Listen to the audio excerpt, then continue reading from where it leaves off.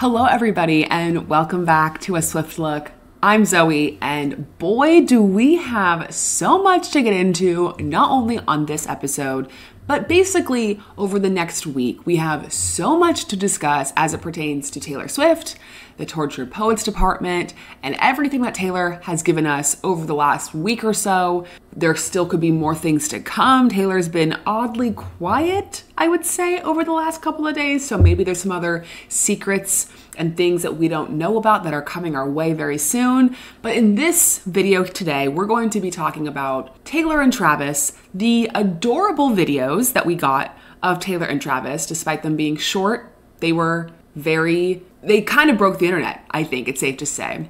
And then just some other Taylor Travis news that we've gotten over the last couple of days. But we have to start with, have to start with, on Friday night, when Taylor dropped the music video for Fortnight featuring Post Malone, she also shared with us a video, a little YouTube short, a compilation of personal videos of her for her for a Fortnight challenge. Essentially, I think what she wanted people to do is compile videos of themselves living life over the course of two weeks. And she herself did that, sharing personal videos of her with her cats, making crafts, etc., etc. And then also shared a couple of videos of herself with Travis, which I don't know if anybody else did this, but when I saw it, I kind of screamed.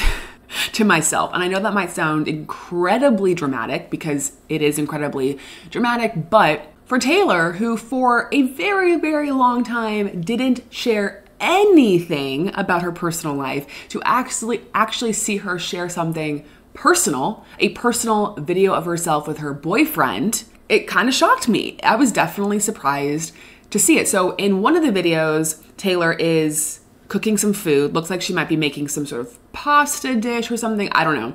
But she's she's like stirring the um pan and then Travis comes out of nowhere, gives her a sweet kiss on the cheek She's kind of she kind of seems surprised by the action, um, which was just so it was just such a sweet moment. And a lot of people on the internet said that it, it, felt like Travis had like just come home from work. Taylor was making dinner, and Travis just decided to give her a sweet kiss on the cheek, which was adorable, very human. And again, I know that sounds obvious because they are just people, but she's the biggest pop star in the world. He's one of the most famous and successful athletes in the world. But you know, sometimes they just are making dinner and hanging out at home and being normal people, which I thought was so sweet. We also got a little clip of her. I think the two weeks that she was sort of um she was she was highlighting were like the like the week of her in Singapore and then the, the week following Singapore because it looked like th- there were some clips of her from Singapore and then also in Los Angeles. Um, there was a clip you could see Taylor and Travis from the back. It was kind of dark of them at that sort of garden, cool, incredible garden in Singapore, which I definitely caught. I don't know if other people caught that. Um, and then we got we got some other fun things. We actually what was also crazy. We got a video of Taylor, a clip of her in a Kansas Jayhawks sweatshirt. Now, I know her best friend Abigail went to the University of Kansas, that whole thing. I also went to the University of Kansas.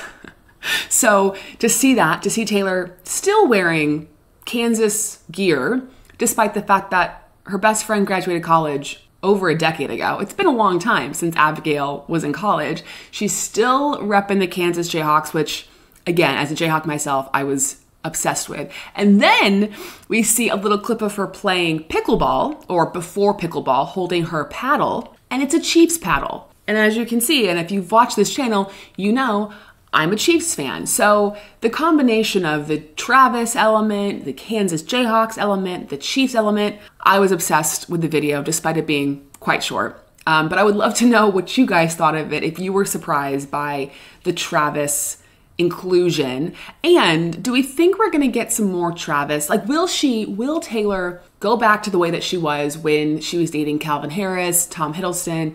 Will she share personal photos of her relationship on Instagram? I don't know that we'll ever get there, but maybe, maybe if it escalates and like they get married someday, she might. But I feel like we're inching a little bit closer. We obviously got that TikTok of her with Travis after the Chiefs Super Bowl win in the in the um, in the club with her parents, uh, which that also I think kind of shocked people too. So I loved it.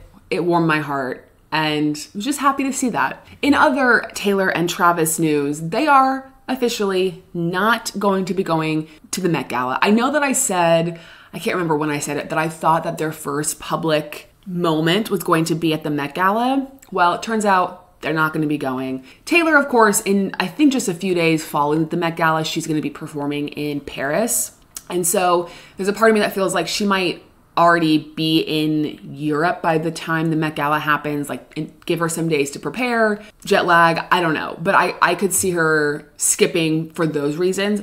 Don't know why Travis said no. Um, probably has other things going on, uh, other things that he is that he is doing that weekend, or just in general. Maybe he's going with Taylor over to Europe as well. Maybe they're doing like a little pre um, pre Eras Tour Europe vacation. Maybe they're doing a little traveling around before the tour starts up again. But regardless, doesn't look like we'll be seeing them at the Met Gala this year, which is okay. Which is okay. There's still plenty of time for them to make the red carpet de- debut. Maybe like I can't think of what else is coming up in the next few months that would require them to be on a red carpet. Um, but a girl can dream. We can only dream. Um, and then we also got some news this weekend about how Travis feels following the release of the Tortured Poets Department.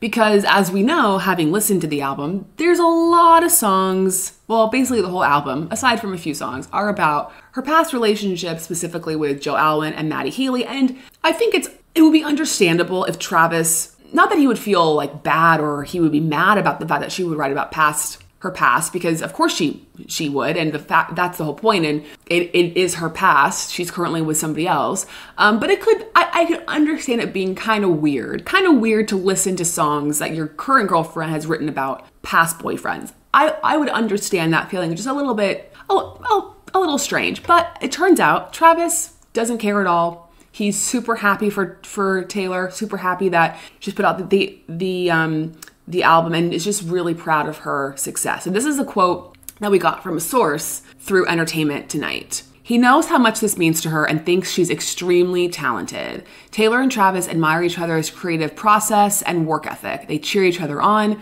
respect each other's opinions, and are open and communicative. So, there you go. Also, again, Travis is just in- incredibly unbothered. I, I can't really imagine that there's a lot that really irritates Travis, especially obviously outside of like the, uh, the football field. I just, I think he's the kind of guy who's very secure with who he is, who's very comfortable with who he is, who just knows that he's in a solid relationship, he's happy, he doesn't feel threatened by the past, he's not worried. He just, he's not worried at all which I love. And as Taylor said in the album, like this chapter is closed of her life, this part of her life is done. She had to put this out to like move on from all of it, and now she can move on. And I don't think she'll put out any any new music any, anytime soon, though maybe she will because we know this girl loves to write. But I do think that the next album we get, whenever that may be, you know, it's going to be Travis focused. And I think it's healthy for her to work through that stuff, put it out, and then move forward. So that's kind of the Taylor Travis update from the last couple of days. As I mentioned earlier, this is going to be this whole week, we're going to have a lot to discuss about the Torture Poets department. I'm still going to do my breakdown of the anthology songs because I, I reacted to the first 16 track, but then we got the additional 15 tracks. So I'm gonna go through that, break it all down, share my favorites, least favorites. We're gonna rank the entire album from 1 to 31 and go through all of that. I have some other hot takes, things I wanna discuss. So this week is gonna be full of content. So if you haven't subscribed to our channel yet, if you love Taylor Swift, please do so. And as we head into the Eras Tour, back up again, and all that stuff, we're going to be covering everything that has to do with Taylor Swift over here. So if you love Taylor and don't want to miss a second of content, please subscribe to our channel. As always, follow us on social media. Oh, and make sure to share all your thoughts and feelings, opinions about everything that's happened regarding Taylor Swift in the comments. I want to read them all. And we'll see you guys next time. Bye.